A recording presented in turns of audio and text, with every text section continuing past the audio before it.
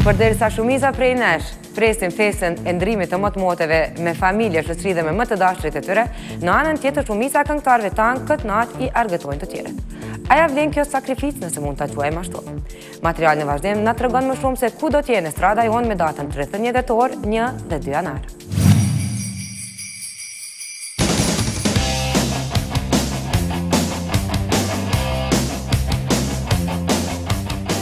kanë mbetur edhe ca ditë deri tek nata e ndrimit të motmoteve.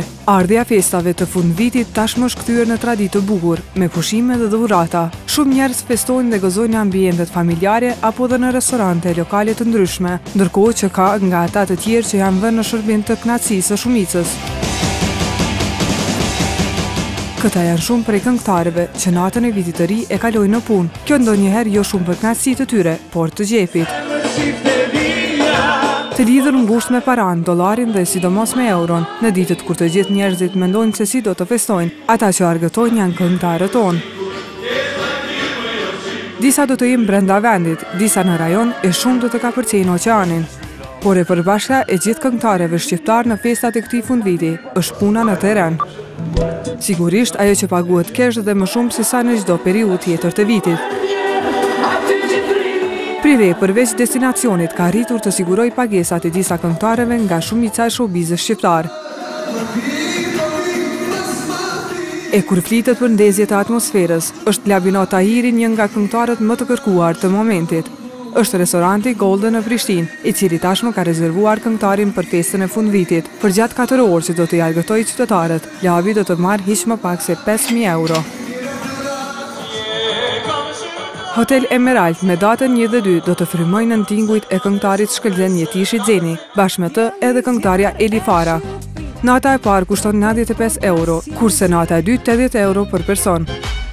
E shuma që do të marrë këngëtari Xeni është rreth 5.000 euro, kurse Eli Fara afër 3.000 euro.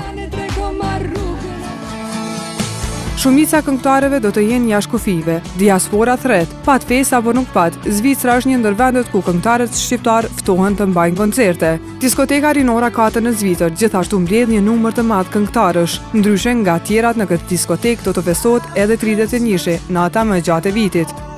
Dafina Zeqiri, Adrian Gaxha dhe Floriani i Vogël do të përkujdesen për disponimin e të pranishmëve në këtë diskotekë. E po nuk do të ketë vetëm muzikë. Në këtë natë, ata që do të bëjnë publikun të qeshin janë humoristët Stupcat.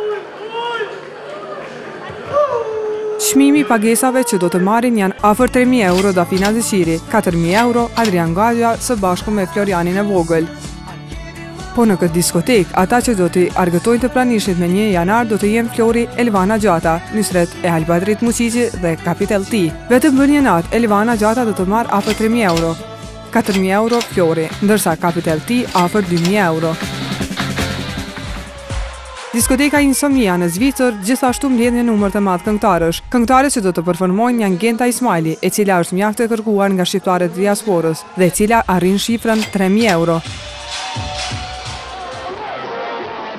Nuk do të mungojë edhe muzika hip hop. Janë grupi Babastars të cilët në natën më të gjatë të vitit do të argëtojnë në një nga klubet e qytetit të Durrësit. Ndërsa me një janar ata do të vazhdojnë në qytetin e Ferizajit, kështu për t'u kthyer me dy janar në Prishtinë në diskotekën Dupleks.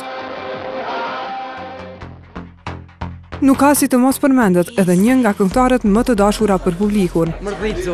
Adelina Ismaili edhe për këtë vit të ri do të argëtojë të gjithë adhuruesit e saj.